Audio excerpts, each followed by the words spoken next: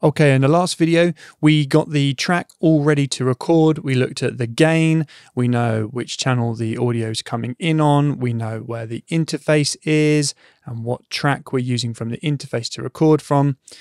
In this session, we're going to look at the recording modes.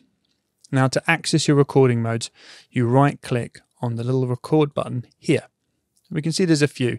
I'm not going to go through all of these because if I'm honest, they just then you're not going to use some of them. So normal is just normal recording. I will hit record, which is command and space, or three on the numpad, or F12 at the top of your keyboard. And we press recording there. And if I press F12 again to stop recording, nothing happens. If I press numpad 3 to stop recording, nothing happens. If I press Command and Space, nothing happens. In fact, Siri gets involved and we don't want that at all. So that is normal recording mode. If I start recording here again, it just creates a new clip that runs over the top, just like that. So that's your normal recording mode. When you press record, that is what is recorded. When you press stop, that is where it stops. Now the next mode I want to show is loop. Loop is the same as normal recording, but when it hits the end of a selection, it will loop back round.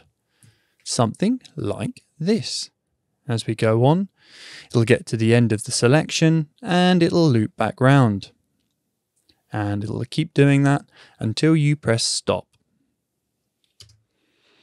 Now just demonstrate that normal recording doesn't do that. I'll make a little selection. We'll press record. It will record the selection and it will stop. Like that. So we've got normal, we've got loop. Let's have a look what else we've got. Destructive. Now this is interesting. I don't recommend using destructive, but what it will do is it will overwrite any file that already exists that you're recording on top of, if that makes sense. Let me show you. So we'll use this clip here. I'm going to record from there to there in destructive mode. Let's put that on. Right click there. Gives you a little D for destructive. And we'll hit record now. And as it gets to the end, it's not in loop. It will just stop. It has. And as you can see, what it has done is it's modified the file I was recording over to render in the new audio. So that is, there's not two files there, that is just one new file. I'll show you again on here. So if I was in normal mode, let me go there, normal mode, and I'll hit numpad 3, and it's going to record, stop, creates a new clip. Show you again, destructive over the same space. Let's just delete that. Keep that selection. Destructive mode. One, two, three. Donk. And it re-renders this file with that new media inside of it. Incredibly dangerous. Incredibly dangerous. Can you undo? Yes, you can undo. But destructive mode, very dangerous. I've also I tried to use it uh, during television shows to save time on rendering out a full 90 minute film or something, just destructively recording into some of it. Um, I found that I got clicks or pops, and that's no good at all. So I don't trust destructive. It probably works great. I just haven't had any good experiences with it and have only caused trouble for myself.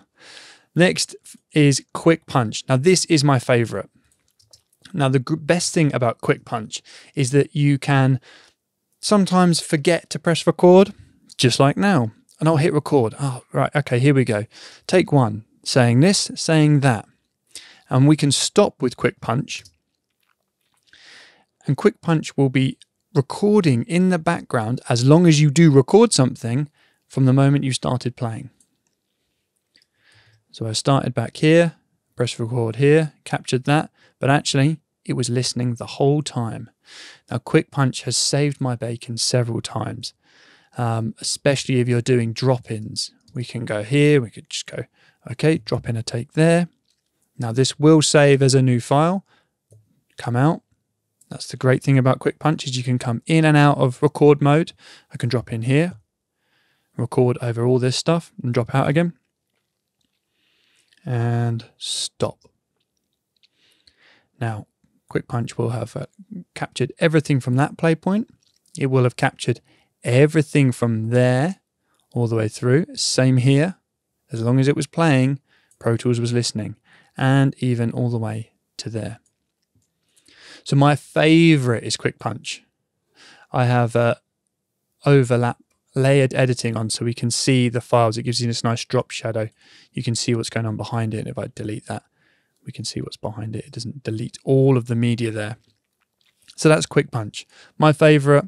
Uh, and the other two, I'm just not going to go into. There's you. I don't think any podcaster will have any need to do Track Punch and Destructive Punch.